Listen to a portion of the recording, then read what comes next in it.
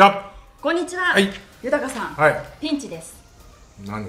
いろんな意味でピンチです。本当に？はい。ピンチです。えピンチじゃないだろ。バラ色みたいじゃない違う違う。ニコッと今川選手みたいな顔になってる。からああそう。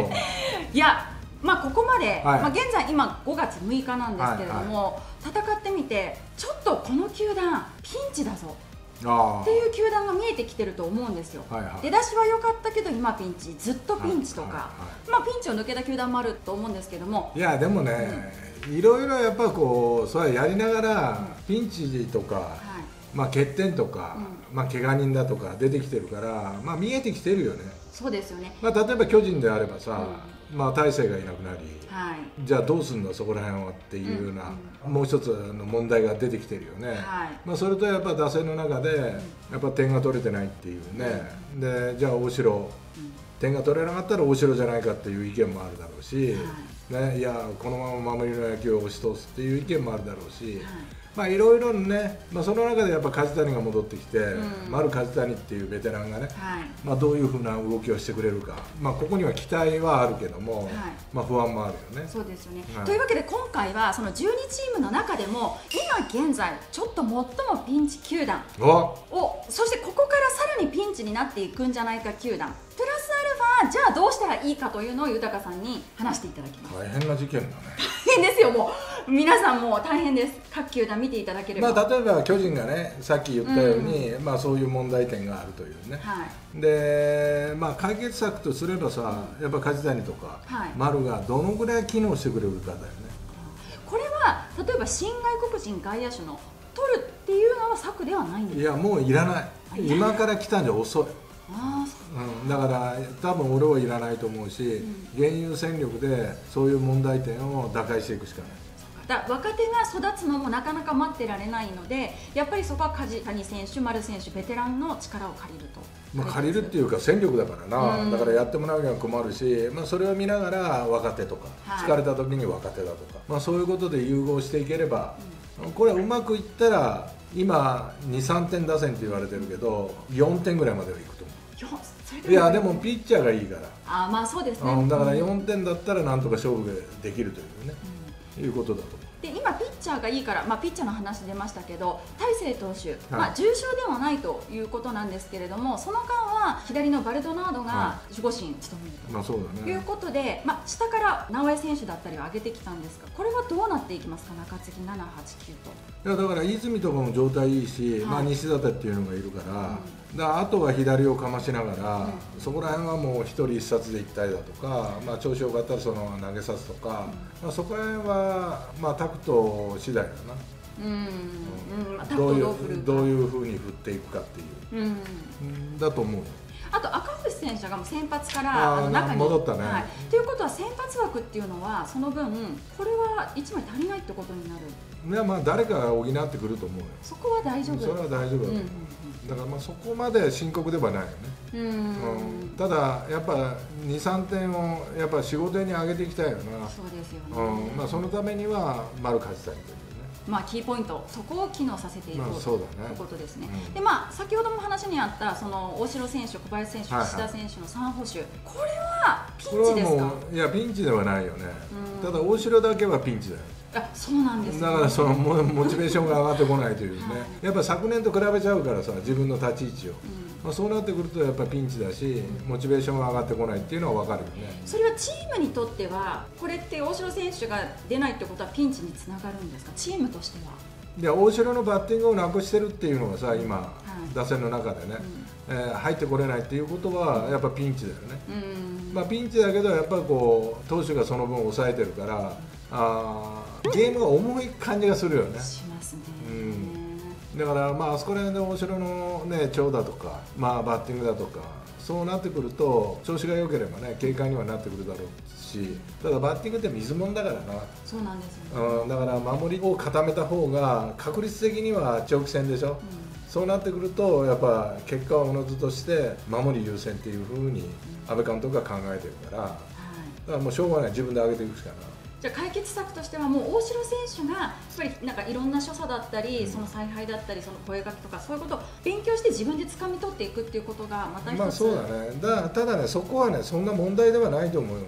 うん。チームの中では、うんあまあ、それよりはどうやって点を取っていくかとか打線をどうつなげていくかっていう方がうん。問題なんだと思うけどね、は巨人はじゃあ梶谷選手、丸選手っていうところですい、ね。がやっぱもう頑張るしかないんだよ、うんうんうん。うんさあ他のチームセ・リーグでは、まあ、d n a は筒香が入ったりだとか、ね、渡来外したりだとかいろいろ人の動きが 激しくなってきてるよね、はい、だからまあそこら辺でのそのチームのバランスというかさ、まあ、そこら辺が一つの悩みにはなってるよな。そうですね。あのここのところ、まあ、この前のカープ戦、最後、渡来選手出ましたけど、それまではちょっと外したりとか、ただ、筒香選手が戻ってくることによって、また外野一枠が誰か外れるということでしょ。ね。まあそうなってくるとやっぱり今までこうなんか状態の良かったバランスが崩れたりだとか、はい。崩れなかったら一番いいんだけども、まあ、だけどそこら辺で戦力がダブついてると指揮官の迷いを起こすんだよいやもうこれしかもうできないっていうような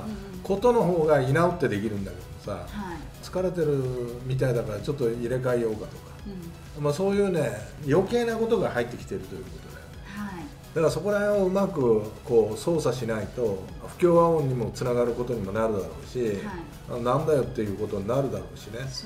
だから、まあ、そこら辺をうまく立ち回らなきゃいけないなっていうふうには思うけどねあとは例えば筒香選手が入ることによって今年盗塁数多いんですけれども、d n a 例えば今まで軸にしてたこの走るっていうところの戦略がちょっと変わってきたりとか、これは使う選手によってやっぱり野球は変わるという、うん。まあ、筒香が入るとやっぱ長打ではい。返してくれるということで走る必要がなくなるという、うんうん、だからまあそこら辺はねそれは深く考えることではない、あそこまあ、は走れる選手が出てたら走ればいいし。はい。走るってさ、まあ、最初からバンバンバンバン走るんじゃなくて、勝負どころなんだよね走るとしたら、ここ1点欲しいどうしても進めたい、走れるかよし走れる。行けみたいな。うん。だから牧がジャイアンツ戦で走って流れを変えてホームに帰ってきた。ああいう風な盗塁だよね、うん。だから何でも数を重ねればいいっていうもんじゃないんだよね。うんだからまあそこら辺のこう人が入ることによってその野球が変わる。それも当然変わるし、うん。だからただ人のこう流れによってリズムを失わないようにしとかないといかんなっていうのは、まあ、DNA は感じるけどね。あとやっぱ三浦監督どうしてもこう優しいというか情のある監督だと思うので例えば筒香選手を取ったとなると打率とか例えばホームランとかその状態が上がってこなくてもどうしてもやっぱり使わなきゃいけないんじゃないか筒香選手だしっていうそこの引っ張ってしまう迷いっていうのはもしそれはね球団がね賞味期限を考えてるよ。打てば伸びるしはい。打たなかったら賞味期限っていうのは切れるし、うん。うん、そうなったら球団が考えると思うそれはもう三浦監督は勝負に出てるわけだから、はい。それはそれはもちろん考えてるよ。うん。ただやっぱ球団が取ってきて戦力として見込んでるわけだから,、はい。だからそこを球団がどういうふうに判断するかだよ、そうですようんだからそこら辺まで三浦監督に責任かぶしたらかわいそうだよ。そっかそこはまあう上っていうことですよね、まあさらに上がっていうただその時期をね上も見余ってしまうとまあチームがガタガタになるよね。そうですよね。そこは注意しなだって勝つために優勝するために取ってるわけだから,、はい。らそれの成果を求めるよね。そうですね、さあ続いてありますか？セ・リーグ、まあ中日、うんうん。まあ、中日はね投手力がいいって言われてたんだよね、うん。で最近ちょっと野球が乱れてきてるというのははい。点を取られだしたんだよ。うんうん。ね、春先っていうのはピシッといってて7回、8回ぐらいにひっくり返すとか点取って逃げ切るとか、まあ、大体先行逃げ切りのタイプじゃなきゃいけないのが先に失点するとか、はい。途中でひっくり返されるとか。だから先発ピッチャーがちょっと疲労感があるんだよね。うん。だからここに来てちょっと様相が変わってきてる。打てるようになってきてるんだよ。点が取れるけど取られるという。中日らしからぬ野球になってる。うん。ということはもう一度ローテーションの組み替えした方がいいかなっていうの組み替え。これはやっぱこうなんていうの高橋宏斗とか、はい。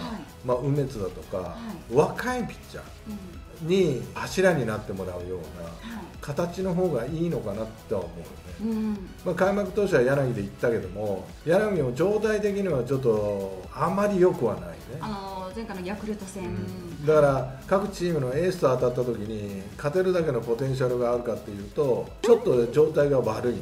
うんで涌井も良かったんだけどもちょっと炎上したという、はい。涌井もやっぱ年齢の割にはものすごく頑張ってると思うんだけども投げ合う相手もやっぱ考えた方がいいかなっていう感じがする。もう一度じゃあローテ再編っていうことですよね、うん。だからもう勝てる時には勝つ、うん。で負けた時にはもう投げる。はい、あこれは勝てないと思った、まあ、その判断を間違えないということだよね。うん。うんだからそれはどういうことかというと疲労させないということだよピッチャーを。だからそこがやっぱ大事だと思う。うん。うんまあ、先発の投手にしても中継ぎにしてもっていうことですだからねネオが大事になってくるな。なんかねロングリリーフっていそうう形になだからこうおそらく勝ってる時はないと思うんだけど、まあ、負けてる時序盤に。はい、それはもうネオが頑張り通すとかさ。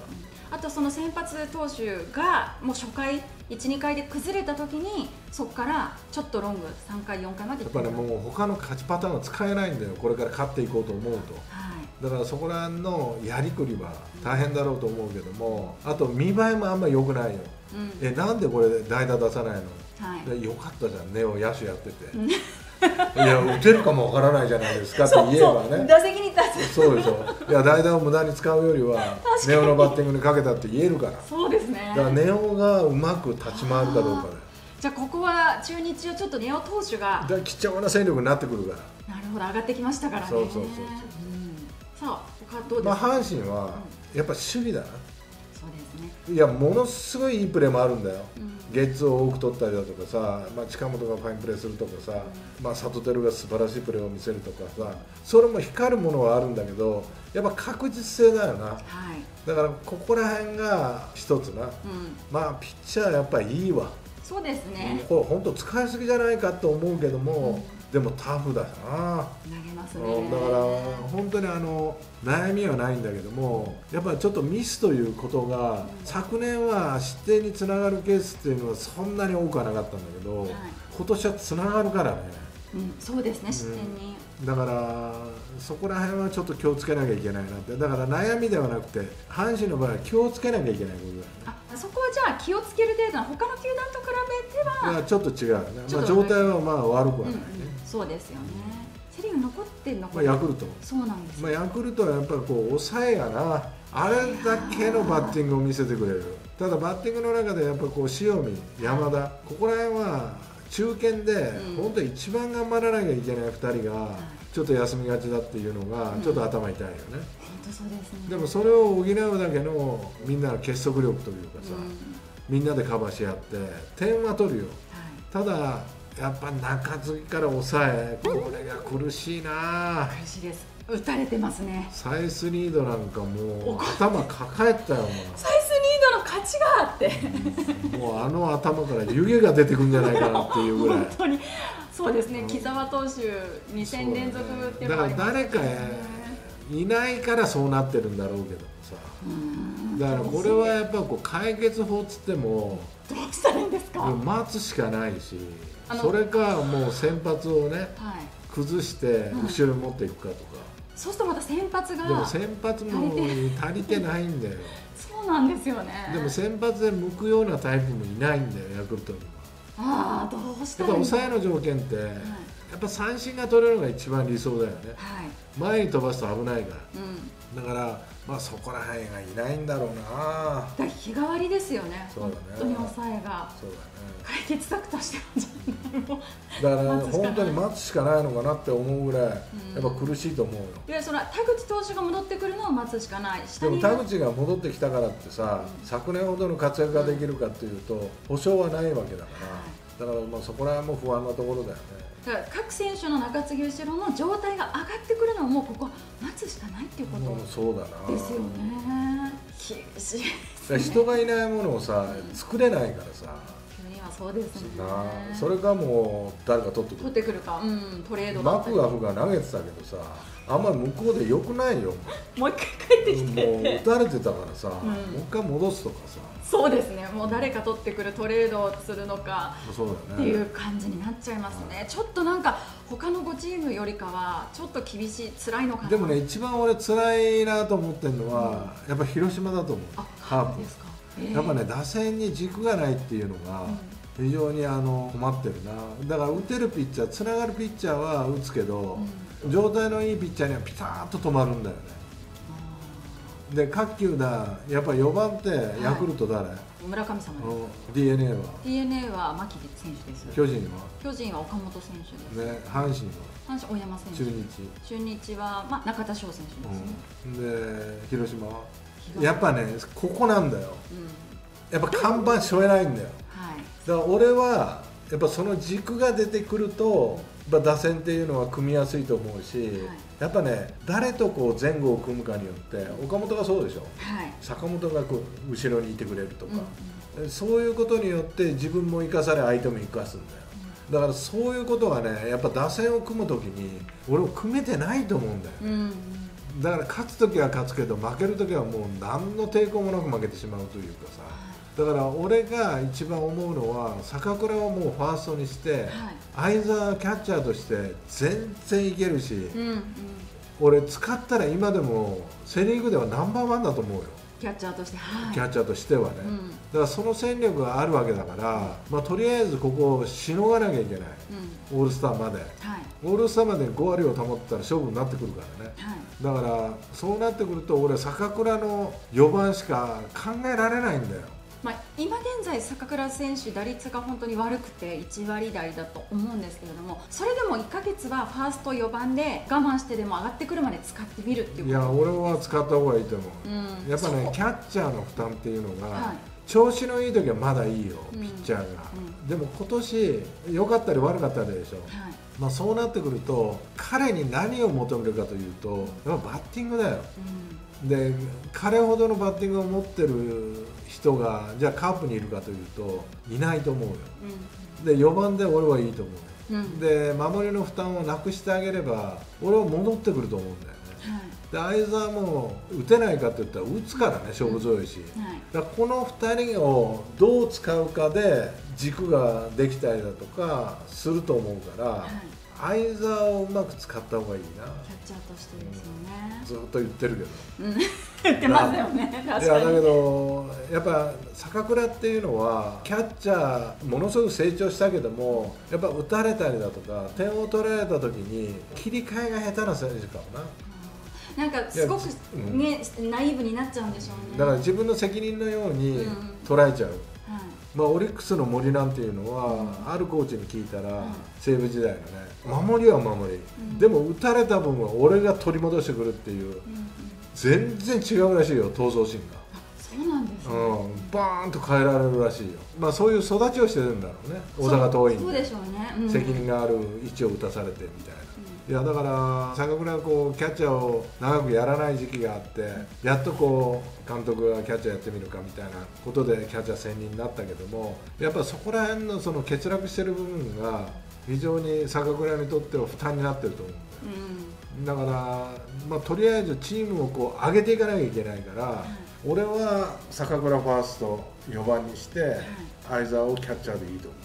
でその4番にするんであれば例えば5番の選手はなるべくその坂倉選手の負担というかにならないような選手がいいっていうことなんですかね。まあ、そうだなただ左が多いからなあそこもないや堂林が上に調子よくいてくれたらさああいいですよね。お互いが上がっていきそうな感じがするんだけあどと野間選手とかも状態いいので例えばなんかこうも5番物もちょっと落ちてきてるんだよねああそうなのか。まあ安定してなんかこうやりそうなのは小園なんだよ小園選手はじゃあ5番の方？でももういいよ。しょうがないよ俺は、2人を二人こう生かさなきゃいけないから、はい。でもでもね清原松井っていたでしょ、はい、ね、清原が打つと松井が打たない。うん、松井が打つと清原が打たないって。そういうね運プテンプみたいなのがあるんだよ。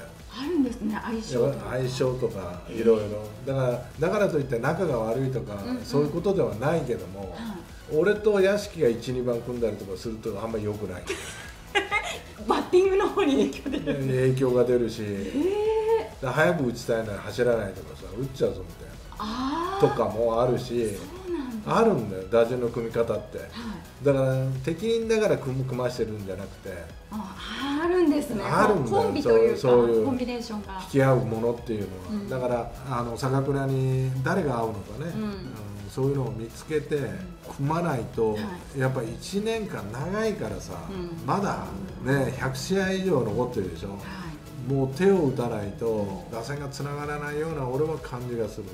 そうなんですね、さあパ・リーグですけれどもはい。パ・リーグはどうでしょもうソフトバンク。う、うん、もう言うことはないな。もうまあちょっとね西武含めてちょっと連敗続いていたい時あやりましたけど、ねあれだけの快進撃がいつまでも続かないよ、まあそりゃそうですようんね、続かないし、まあ悩みとすれば危機管理として、オスナがはい抑えのこのままの状態でうん。あればなんか離脱しそうな感じがするんだよね。え？状態が上がらないんだよ。ああそこで失敗されるときつい。あはい。それと一番負け方としては最悪な負け方になる。うん。だからオスナがあの状態であれば危機管理として誰かを準備をさせといた方がいいな。常に、うんうんそこだけだと思う。唯一そこだけ。あといらない。確かに。まあそうですね。あと怪我人が出てた時もさ、うん。心配してたけどいや川瀬がいる。はい、川村を使われてるけど、うまあ、リチャードもうまく使い出したよね、ん、はい。あと中村がいる。はい、もういるんだよ豊富に、うん、いますね。もういいよ。う んもういいよ。確かに言うことなかったですいや本当ねに。そうですよね。その他どうです？まあ日まあ日本ハムももうそんなに、本ないですよね。うん悩みはない、うん。うん、あの悩みは、今川が2軍に落ちるっていう悩みだよ。心配は。そっちの心配今度は。あまあ、あとは本当にねみんなが前を向いてーはい。推進力があるよねうんうん。だから何にも心配ない。例えばちょもうちょっとリース状態上がってくればいいなとか。まあまあそうだな、うん。まあそれ悩みじゃなくても個人的なことだし レースがいなくても勝てるし、そうですね。あそこうん、は。なんとかするし、うん。うん。まあ、そんなに悩みはないよね。じゃあ今川選手が2軍に落ちないかどうかの悩み。個人的なまあ個悩み人的なだけでしたね。悩みだけどロ ってどうですか？ロッテな、うんロッテは、まあ、コンバートによって、まあ、中村が良くなるかなと思ったら良くならない、うん。まあ、それとやっぱベテランの角中が使えば打線がつながるという。まあ、解決策がちょっと見つかってきてるんだよね、はい。ただやっぱ俺問題はやっぱ中村をどうするかだよ。うん問題はね。だからそこら辺がちょっと悩みかな。例えば思い切って新しいサードもう固定で外してもいいし、うんでもそこまでの勇気はまだないだろうね、うんまあそうですね。中村翔吾選手ミスターロッテですしね。だから角中を3番に使ったりとかして非常にいい形でいくけどもだけど年齢的なことを考えるとさやっぱり休ませなきゃいけないとか、まあそういうこともあるし、だからそこで中村があのままの打率じゃさ、たまに打ちますじゃさ困るわけよ、うん。チームを引っ張ってくれないと、だからここら辺がちょっと悩みだな。解決策とすればじゃあ一回外してまあ一回というかまあ外れてることもありましたけどサードを作っていかなきゃいけない他の人でっていうことが解決策に。だから安田がしっかりしないからこうなる。まあまあそうですね、ん。確かに。ねたまに打つんじゃ困るんでたまには誰だって打つからさ。はい。常に打っとかなきゃ、ですよね、うん、だからまあそこら辺だろうな。安田選手が状態を代わりに上げてくるっていうことを、あと種市も西野もうん。どちらかるとどちらかるからね、そうなんですよ。ここら辺何とかしろって言ってもしょうがないやんな。もうそうですね先発ローテのね入ってるピッチャーは抑えないと小島ぐらいで安定してるの。まああとはそうだ。メルセデスに勝たせなきゃダメだ。あそっかそっか。0.65だぞ。お前5試合投げてこのピッチャーがまだ勝ち負けついてないっていうところが問題でしょ。そうですね。ここら辺はねやっぱエース級の投球してくれてるよ。はい。ただ彼も早く降りたいっていうね誤解すぎると、そう弱気のなんか出てくるんだよ 顔から。顔が。もうもういいでしょみたいな。もう帰らない。のもう仕事したよみたいな。もうそれじゃ点取ってくれないっていう、そうですね、いやだからまあそこら辺を勝たせなきゃいけないという悩みはあるそうですね オリックス。オリックスな。オリックスなんかいいのか悪いのかがちょっと本当わからないんですけど。でも俺は予想通りだよ。あ中継ぎはあんま良くないよって言ってたのが、はこの前宇田川がやられたけども、うん。本当に良くないんだよあんまり。はい、だからここら辺でもたつくなと思ってたよねうん。まああとは西川だな。あそうですね西川もうちょっとやってくれると思ってたのがまあ慣れてないっていうこともあってこれから上がってくるとは思うけどまあそこら辺も悩みだよあとエラーもちょっと結構目立つんですよ、まあそうだな。うん。なだかららしからぬという姿にはなってるけど、うん。でも、まあ、昨年もね、まあ、そういうことが、まあ、消えるぐらいなんとなく勝って言ってたんだよね。ただ今年の強いソフトバンクと戦っていくにはもうちょっとギアを入れないと何かしらの手を打たないと優勝っていうのはまあそうだな。難しいですよね。まあ、あそこはまあもともとピッチャーうん主体のチームだから、一番はピッチャーをちょっと中継ぎ含めて立て直さないからね、下にいるんですかね？もしかしてもういいピッチャーとか。いやまあいるにはいるよ、ん。例えばまあ向野木が投げたけどもあんな力じゃないしさ、うで山下新平太もとっちらかってたけど、はい。あんな力ではない。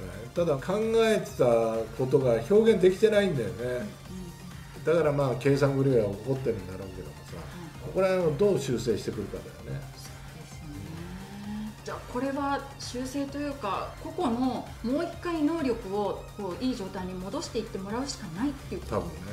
誰かで補填できるわけではないってことですよね。まあ、補填するピッチャーがいればねいいけども、まあ、なかなかそれは優秀なピッチャーってたくさんあそこにはいるけども、いきなり補填は効かないよね、う。ん、マチャド。あれをうまく使うといいな。うんマチャド。はい。マチャドは力あるなボールに。いやだからマチャドをうまく使う、ね、うん。といいと思う。あの阪神の岡田監督が去年優勝した時に来年は同じメンバーでは戦えない優勝できないっていうふうに、まあ、おっしゃってましたけどオリックスはずっとこう、ね、パ・リーグ制覇してメンバー的にはすごい変わってるわけではないので何かまあ変わっていないけど本当手を変え品を変えあ変わってるように見せるよねそうなんですよねまあでも西川が入ったりとかね、うん。まあいろいろしたから、まあ、変わってるっちゃ変わってるけどね。ああそっかそっか。だからなんかね今年強いのか弱いのかまだわからないっていう状態。いや本人たちも去年まで優勝したけど俺たち強いのか弱いのか分からないって言ってたか そっか。らねいやなんとなく勝ってるんですよ。ってということはソフトバンクと日本ハムが強いから目立たない、ね、そういうふうになってるってことですね、ね。順位的にやっぱり。楽天です、うん。まあ質量とも足りんな、うんまあ、ピッチャーも含めてだけあのまあ、前回ちょっと岸投手でも勝てなくてっていう、どまあそうだな、うん。だからまあこれはやっぱこう編成とかそういうし直しが必要だな。ちょっとどすごい大工事になっちゃいますね。それとセカンドの浅村をサードにコンバートしたでしょ、これちょっと失敗だな、言ってましたね。そのうん。セカンドとサードと見える場所とかうん、角度が違うしな。ちょっと失敗やなもうファサードにするんだったらファーストにしてあげた方がいい。これどうしてサードにってなっちゃったやっぱり安易に考えるんだよ。俺もそうだったけど。あセカンドからサードの方が楽だろう。ーうんうん。全然楽じゃねえから。余計厳しいから。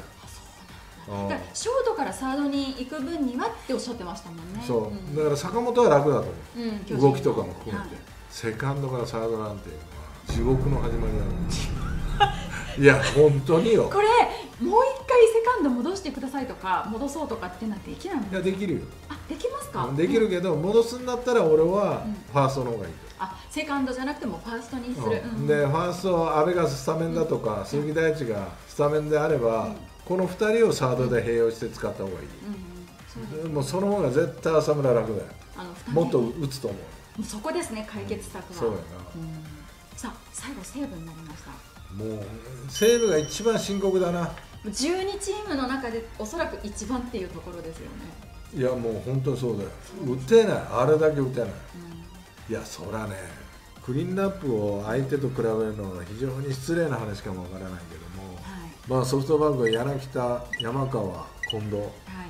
対してうん。若林、うん。アギラ佐藤流星。はいうんじゃねえよ。なんか言ってくれよ。いやもうふんとしかふんとしかもう打率を見ても、だからそれしか組めないかなと思って。それしかやってきてないかって思うんだよね、はい。うん、そうですね。で万波マルティネス、うん。まあ郡司でも。いいやはい。あとタミヤタミヤ選手、まあタミヤと、うん。まあ、それでもなんか西武が劣るような感じがするもんね。まあ劣るわな。はい。いやだからこれはやっぱ中村君に頼ってたツケだなっていう感じはするよな、おかわり君に。本当それですね、うそこ頼らなきゃいけなくなる前に何とかしなきゃいけないもちもちろん抜けてしまったっていうそのね不可抗力な部分はあるにせよだったら穴埋めできる選手を育てて成長させなきゃいけなかったのかなだから打てないんであればじゃあどうするかとか。うん。いうこともあるこのままじゃねあの投手陣が死んじゃう、うん、そうなってますからね、うん、生かされない、ちょかわいそうでしょうがないよ。はい。だって3点取ってくれたら勝てるピッチャーがめちゃくちゃいるのには竹内だってこの前「やりました」言うて、いはい。ね、いやもう100球ちょうど 8, 回、ね、完封いけましたねって、いやまあ、次の楽しみに見て、はい。1対0やって、余裕なんかないよ全くないですね、いやだから打てないのを急に打てるっていうことはできないよ。でもチームの決め事として阪神ではないけどもやっぱフォアボールの査定を上げるとかさ。はい。なんか講じていかないと、うん。このままでは本当に浮上しないよね例えば今まで西武打線って山賊打線打つ打ち勝つ打線って言われてましたけど今もうそのメンバーがいないのであれば例えばもうつなぐ打線というふうに一層変えてし草まう。刈り出せんのいや本当に。だから地味でしょ。もうつなぐとか何かもう変えてガラッと変えないとちょっと厳しいんですか？どうなんですか？そこでも打てる打線で。いや打てないんだったら若手使った方がいい。まだ。うん。居直って。はい本当にもう若手でゴロッと変えた方がいもうそこはそうなんですいいやその方が一生懸命やるし、ん。将来が見えるじそうですね、うん。うん。いやそのぐらい危機感が俺はあると思ってるし、うん。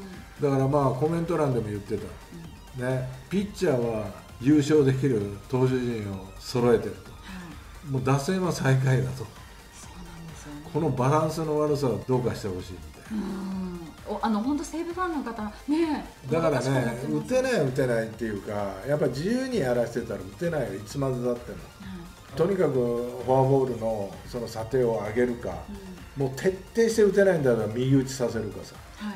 徹底的にセンター打たすかとか、うんやっぱもうね自由にやらせても打てないんだったら徹底した方がいい。うん。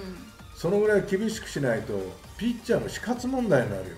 そうですよね。それはピッチャーだって野手の方向かなくなるよ、や本当にあのチームの輪がなくなってしまいますまあ、よ、ピッチャーはピッ投手陣。うん。投手陣は投手野手は野手陣。ういやピッチャーに気遣い出すよこれ野手がですよ、ごめんなさい。打てませんでしそうなっちゃうたいやなるよ。そうです、もうそれは申し訳なくてしょうがない。のうん。だからもう今井のもう髪切っちゃった。いや関係ない頭イイケメンになっててさ、かっこよくなったなよくないいや本当に。あと、まあ、ラーなんですけれどもクリーンアップって言ってもなかなか打率がとかあとこれ外崎選手がサヨナラした場面のその前のところもチャンスで初球見逃してからの結局ゲッツーだったりとかちょっとアギラー選手はどうすればいいんだこれ使い続けるのかどうするのかっていうのはどうなんですか？外国人。まあでも取った以上はな、うん。まあ難しいな。でもまあ打てない中でも期待感はある選手だから、ああそうか、まあ使わなきゃいけないとは思うけども、やっぱりなんていうのかなもう若手に変えてもいいかなと思うよ、うん、うん、思いいや本当に。打てないんだったら待てないし。はい、でここまで打てないとも思ってなかったし。3点ぐらいは平均的に取ってくると優勝だと思ってたのにそれも取れないでしょ。これはだいぶ重症だからね、ですよね、う結構西武史上始まって以来のぐらいの重症になってきん、いやそうです。多分そうだと思うよ、うんいやだからこうのんびり構えてたら終わっちゃうからね、そうですね、うん、いやだからもう終わるんだったら若手で終わっといた方が、うんうん。それはもう来年ねい。チャンスが生まれるし、ちょっと考えなきゃいけないなここは。そうですね。解決策ってねうん。やっぱないよなかなか。外から取ってきたりとかっていうのも例えばトレードしたりとか補強。てるやつを出すかいなさない。出さないだろ、細川ぐらいだよ本当に、うん、そうかだから海老名ぐらい出してくれたらいいけど絶対絶対出さない。ですそれは出さないですよね。出さないでしょ？うん。いや筒香来たから海老名浮いちゃったでしょみたい出せな ない。じゃあくださいよみたいな、まあ、貸してくれてもいいけどな。うんもうレンタルですよね。うんもうレンタルでいいから貸してくれくださいと。うん1年間。でピッチャーこっち豊富にいるんでうん。一、人持ってってくださいみたいなもうそうレンタルですよね。じゃあコーナー持っていやそれだけはやめてくれみたいな、着ない絶対に。うん。いやーけどそうですね。いやーまあ深刻は深刻だな。まあちょっとね深刻ですけどまあちょっと12チームまあ深刻度合いが違ったり深刻のまた内容がピンチの内いやでも容が違ったり。ねピッチャーがね各球団良くなってるから、そんなに打てなくてもいいんだよ。うん。ただ点の取り方な、そそこれですね。うん、そこだよ。だから打てないバッターがボール球振ってるようじゃダメだよ。うん、うんでも打てるバッターはボール球振らないんだよ。はい。ね、打てないから振ってるんだからこれ悪循環だな、うん面白くできてるよな。本当そうですよね。まあだから、まあ、とにかく、点の取り方、はい。まあ、それともう打てないと思ったらもう若手に切り替えた方がいいよ。うんそのぐらい今打てなくて出てる選手の危機感を煽った方がいい。そうですね、待ってる時間もうねいいよ小川を3番にしたらどうやと思うんだけどね、うんうんうん。ここが3割打ってんだよ、古賀選手を3番にして今ちょっと、ね、下打ってますけど、うん、8番打ってんだけどさ、はい。あの子だけだよなんかまともになんかあ打てそうだなと思うのは、うん、3割切ったかもわかんないけどね。思い切ってクリーンアップ上に上げてきて。いやもうお前がやれみたいなあれ中央だから。あそうなんですバッティングがいいんだよ多分。飛ばせっていう中央ですか？そうそうそうそう、、はい。やだからそういうの任しといたらいいよ。い、もうそうですね。キャッチャーだから8番とかああいうなんかニコッとして人の良さそうだから、ん。弱そうだから8番じゃなくて、あいつね結構バッティングいいよ、あ古賀選手いいんですね。いいんだよ。うんうんうん。うんだからもうそれはもう3番でバッティングするとかさ、はい。した方がいいと思う。もう思い切った策が必要ですよね。そうそうそう。まあね今のねこう豊さんの助言でちょっとね浮上していくチームがあればいいなとも思いますしね。このままね泥沼にはまっていかないといいなと思いますよねやっぱり。だからね何でもそうだけども、思い立ったら吉日でうん。パンと動けるか動けないかだよね、うんうん。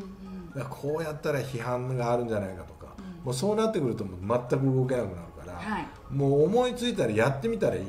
うん、で違ったと思えばまた違う変えればいいから。うんうん。ね。まああとは思い切りだ。思い切りだ。はい。はい